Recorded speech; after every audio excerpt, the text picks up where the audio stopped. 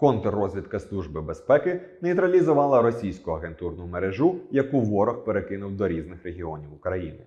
До її складу входило семеро ув'язнених, які перебували на територіях виправних установ Київської, Харківської, Дніпропетровської та Чернігівської областей, куди вони прибули після етапування із тюрем тимчасово окупованої Луганщини.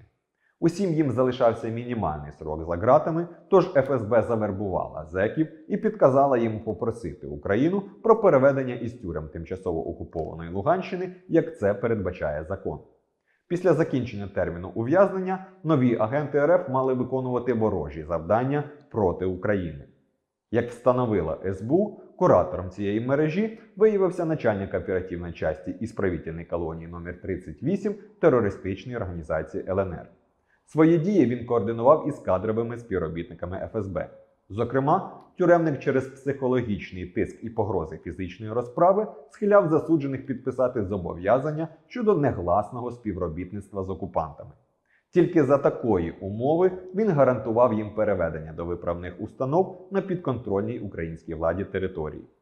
Таким чином він сформував агентурну мережу, яка мала збирати інформацію про місця дислокації та переміщення підрозділів сил оборони у прифронтових районах України. На волі з ними мав зв'язатися через анонімні месенджери представник ФСБ і назвати заздалегідь обумовлений пароль. Агресор планував використати цей канал зв'язку для отримання розвідданих.